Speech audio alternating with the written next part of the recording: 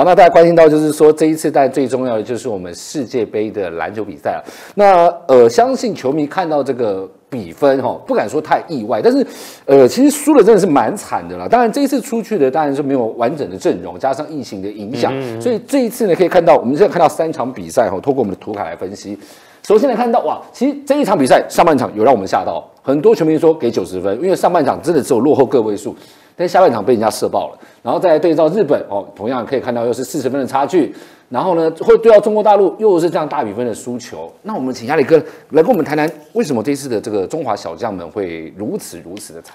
我们从头讲这个世界杯哈，这世界杯是在明年二零二三年的八月份要来举行。那这一次的举呃主办国包括日本、菲律宾、印尼。那当然，日本跟菲律宾都已经先取得了一个已经是进到会内赛的一个资格了。不过他们这次还是有打这样的一个资格赛。没错，我们知道资格赛十六队啊，分为四组。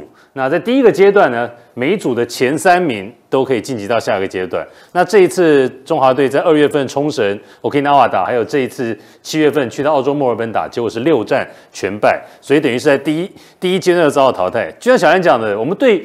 于这样的一个结果，其实不会感到太意外，毕竟实力上是有段差距在。不过从过去，其实，在二十年前，我们整个中华队在整个亚洲，甚至是可以有时候跟日本来争第三名，没错，跟南韩来争第三第三名的一个情况之下，那最近这几年虽然有西亚的一个强权兴起，加上澳洲的一个加进加进来，不过这六场比赛全输球啊！我之前看了一下，这六场比赛的总得分。三百六十六分，那平均每一场比赛得分是六十一分，而总失分呢来到了五百四十四分，那平均每一场比赛等于是要丢掉快九十分。嗯，那这这真的是展现了我们中华队台湾篮球跟亚洲这边的一个水准差距吗？那我们现在在直男这么蓬勃的一个情况之下，我们的代表队在国际赛这样成绩，那我们的球迷是不是能够接受呢？我觉得这就是找到一个换血跟黄金时代，因为过去从以前早期呃龙哥那个时代，后来到了林志杰 F 四这个时代，到了现阶段一直在接班。那可能说这一次的话，我们现在看到我们这有提到，就是说，当然啦，疫情哦，我们先找一些外在因素，疫情就是个原因嘛？为什么？因为我们好不容易规划杨将哦，阿 Tino。就确诊了，那当然它就是一个非常重要的指标。这样很到很蛮多人哈，都是在这出发之前哦，因为要居隔，所以没有办法打。那禁区哇，只剩孙思瑶哦，我们还有吴一斌，他们对他们来讲都是打职业，可能才一到两年。那你要对上那一种可能国外比较老油条的球员来说，确诊的这个因素，好像真的是一个蛮不得已的关键。的确了，确诊对这次中华队战力是造成了一定的影响。不过讲到有没有 Artino，Artino 我们知道是新规划，继戴维斯之后新规划我们中华队的。不要忘记哦，在二月份我们在冲绳打的那三场比赛是有 Artino 的，可是那三场比赛我们还是照输啊。嗯哼，那当然。在现在整个国际赛的一个氛围了，那这一次跟中华队分在同组，包括了中国，包括了澳洲，包括了日本。其实大家也可以看到，日中国队跟日本队的一个名单，其实日本队已经取得了会赛资格，他们派出来的也是二军，甚至是三军。那中国这边也是一样，那主要是以磨练年轻球员为主。那中华队这一次在人员短缺的一个情况之下，其实。看到我们这一次的中华队阵容，我们撇掉了那个新冠肺炎疫情确诊的这个因素，其实我们还是有一些，包括锋线上，包括后卫上，呃，可以讨论是不是有更好的人选可以来代表我们中华队来出征。没错，就是可以看到，其实呢，刚刚有说到，就是其实因为这一次很多 P 联盟的球星是呃，可能跟联赛的关系，或者是说跟疫情关系，考了没办法参加，加上刚才我们所说到的，其实有好多好多问题啊，当然跟各国的差距是越来越明显。亚力刚才有说喽，亚力哥刚才说日本哦，可能都是三军来打了，因为很多球员都没有来。那中华队要怎么拉近？你看到这些比赛内容，哇，这边就写到了，其实后很多球员我们光看就好了，拿到球就是不敢攻，不断的传就发生失误，然后就不断的折返跑，这是不是因为在中华队的年轻球员信心跟技术上真的是有一个很大的差距？其实这两年看台湾的整个篮球，不管是 SBA 也好，新的职业篮球联盟也好。杨绛来到台湾来打篮球，他们第一个感觉就是哇，你们的你们的比赛速度很快，速度很快，而且喜欢投三分。没错。可是我们这样的一个篮球风格拿到国际上，却没有办法成为克敌制胜的一个武器。就像小兰讲的，在这两年哦，其实看到我们的职业篮球联盟成立之后，其实主宰比赛胜负的还是在各队的一个洋将，反而让本土球员呢，其实。有限缩了他们在场上发挥的一个空间。嗯那就像这一次的世界杯的这样亚洲区的资格赛，也只有林炳胜感觉好像这个比较敢攻击篮筐，还有从美国回来的被征召的唐维杰。嗯，那唐维杰已经去美国三年了。当然，我们知道在经过美国的一个洗礼之后，他在这一次的世界杯资格赛打的也算不错了。那不过未来我觉得在国内有直男的一个情况之下，如何那派出最强的中华队，如何让我们本土球员？真正的除了规划球员之外，能够在场上国际赛有所发挥，才能够带给我们台湾的篮球迷信心。没错，亚也可以讲到重点啊，重点是我们这么多，现在已经有呃有一些直篮联盟，要怎么去统整？你光在征招哦，可能呃我们从棒球这个角度看到篮球对吧？你要怎么去征招这些球员为国效力？但为国效力，乡民都说啊，这是一个很沉重的负担，你又没有给我钱啊，你没有给我什么什么的。但我觉得最重要就是说，未来啊，这个我们这么多的联赛球员，我们要去磨合。因为其实我也看到一个这个球迷讲，就是说台湾我们的洋将像辛巴在台湾，因为台台湾的球员三分的命中率真的是低的可怕。我们刚才看到那个数据就可以看到，都在三层徘徊，放一只辛巴在里面，基本上外线就没没有用了。所以这是也是一种我们中华就要提升的一个技巧。对，我觉得这一次啊，就是刚才像像小兰讲，像这种你其实看日本、看中国在对。那个我们中华队的这几场比赛赢赢的分数都很多，对不对？没错。可是他们很少都是他们他们很少是在打篮下或者低位单打。那第一场比赛我们对中国打得很好，上半场只输四分嘛。可是第二场比赛第一节就被他们的整个常人外线三分球射爆，单节被他们三分球九投七中，第一节就输了二十分。我觉得就是像这个有讲的，就是现在在国际的一个赛事方面，其实各国的国家队。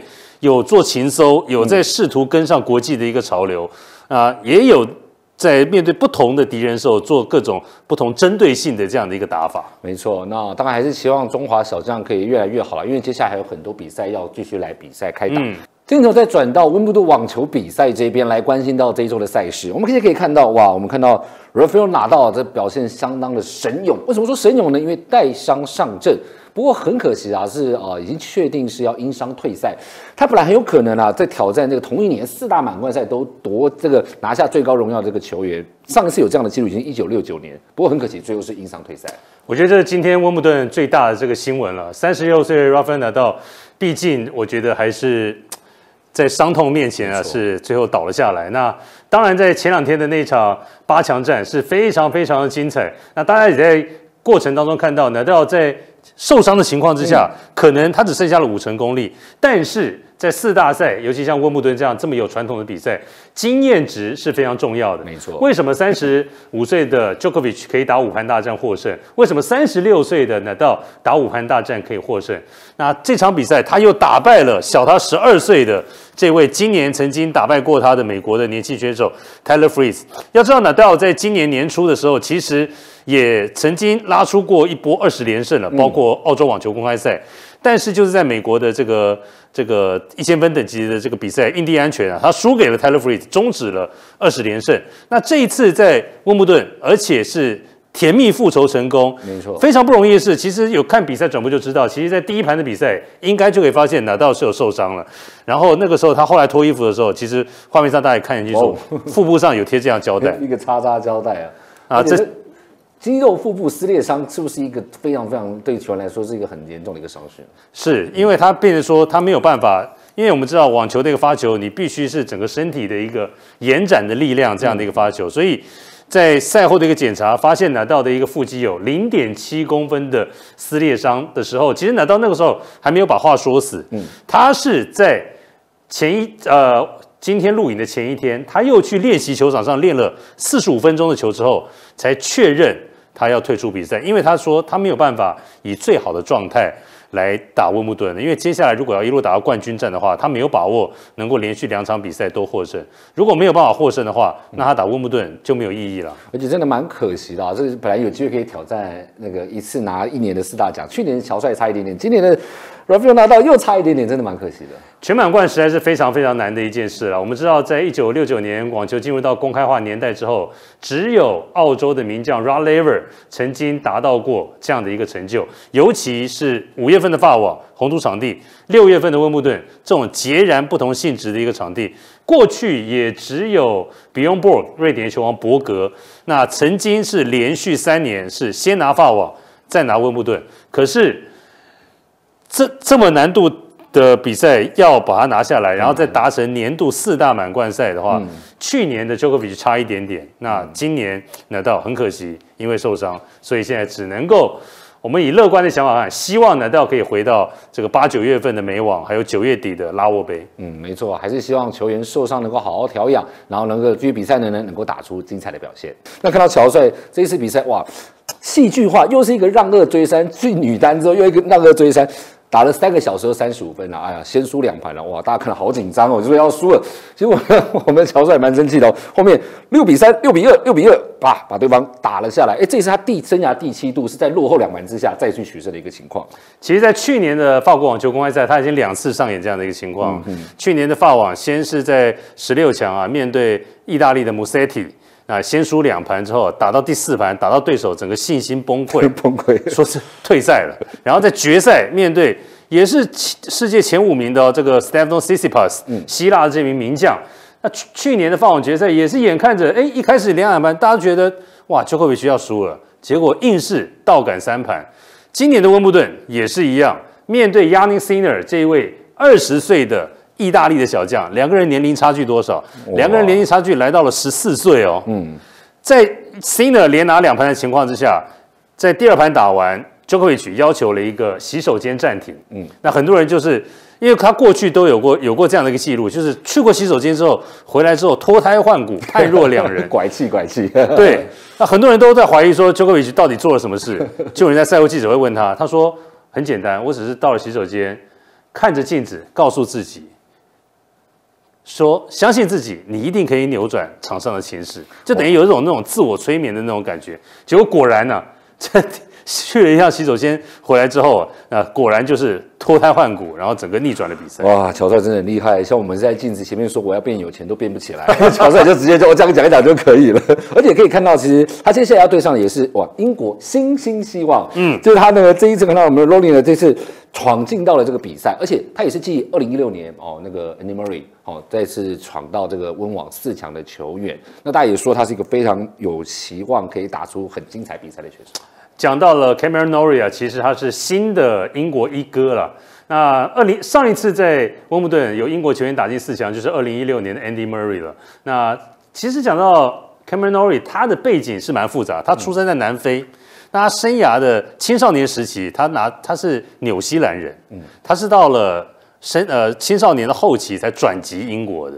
那这几年其实也打出不错的成绩。去年二零二一年，他在印第安全的这项赛事当中拿下了冠军，也拿下了这个生涯第一颗 ATP 一千分积分等级的一个冠军，让他的整个世界排名大幅前进。所以我们说，现在是英国排名最高的选手，那个英国一哥。但是他生涯唯一一次啊跟 Djokovic 交手是在去年的年终赛，在印地的一个场地上，那场比赛被 Djokovic 打得很惨，六比二、六比一啊。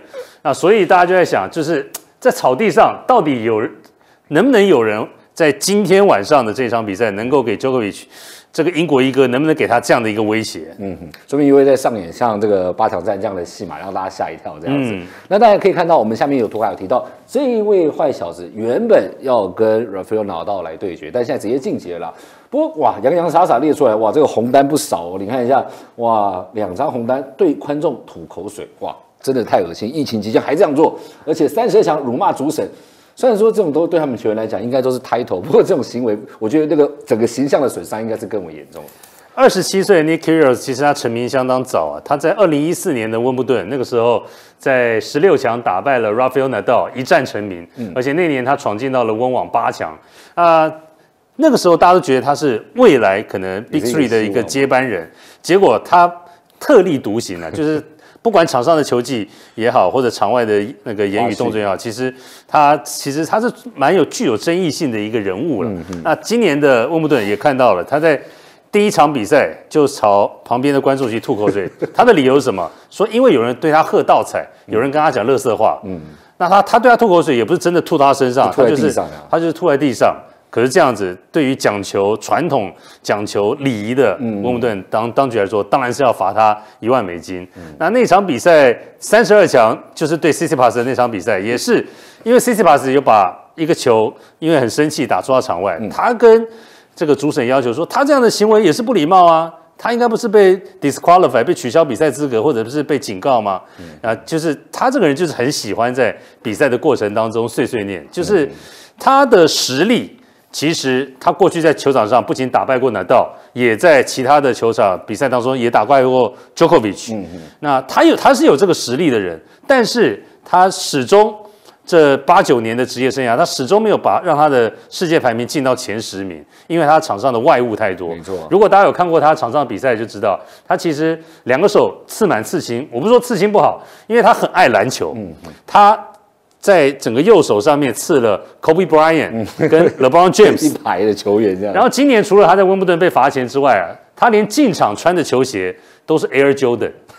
温布顿不是要求要穿全白吗？Air Jordan 是红白。他说我没有穿 Air Jordan 比赛，我就穿走进球场，我再换上全白的球鞋。然后他就故意跟那个主办单位搞怪，因为比赛结束之后一定会有获胜球员的访问没。错，他特别在获胜以后的赛后访问，拿出一个红帽子戴在头上，他就是要挑战温布顿这样穿。其实就是种种刻意，就是就是比较叛逆了。你可以说一个人十七八岁的时候叛逆是正常，没错可是像他这样到了二十六七岁 还这么叛逆，还这么特立独行，其实我觉得这也是一种另类的这种行销自己的手法。没错啊，就是走一个坏小孩的路线。那当然，就是场上有很多花絮，也有些人是叛逆是在球迷这一块啊。我们看到这一次在彭帅事件之前就讨论过，呃，被消失这件事件引发话题，所以看到很多球迷呢。我也不讲话了，我就直接给你，我不用纹身，我就穿在衣服上面。这一件很简单，呃，夜市两三百块的白 T 恤给你印上去。彭帅在哪里？哇，也成了场外的一个焦点。彭帅当然我们知道，二零一三年他跟谢淑薇拿下了温布顿双打的冠军了。那去年因为爆发了这样的疑似遭到这种隐藏，对，就是碰到这个中中共的这种呃高阶的这样的官员对他的一些人身的侵害，然后他在微博上的指控，可是后来又又撤文，那后来就消失在整个球场上。那当然，我觉得以温布顿的一个立场，呃，保全后来对这三位球迷其实也没有说禁止他们进场，他说你你可以来看球，可是希望你们不要跟别人就是中讨论。身上，就说哎。你知不知道彭帅在哪里？因为因为你穿这个衣服一定是有他你自己的诉求嘛，没错那会不会刻意就是说，哎，我遇到小兰，我就就说，哎，你看到我衣服吗？你知不知道彭帅在哪里？这个就因为穿这种衣服一定是有他自己的一个诉求在里面。可是我觉得以温布顿主办单位来说，他其实还是老牌民主国家没，错我觉得对这东西还是保持着容忍开放的一个态度。毕竟在今年因为俄乌战争的关系，其实温布顿的主办当局他们自己也禁止了呃乌那个俄罗斯跟白俄罗斯的选手。那有人就开玩笑啊，那我是不是要穿一个 T 恤？这个这个 Daniel Medvedev 在哪里？或者 Azarenka 在哪里？萨巴连卡在哪里？对不对？可是我觉得这个就是在多元的民主社会，其实大家呃可以容忍不同的这样的一个多元价值。对啊，这也算是一种民主的一种表现啦。那花絮也是一个讨论的话题。想扩大国际视野，掌握趋势，请订阅专门报道国际新闻的 YouTube 频道 TVBS 国际 Plus，记得要开启小铃铛哦。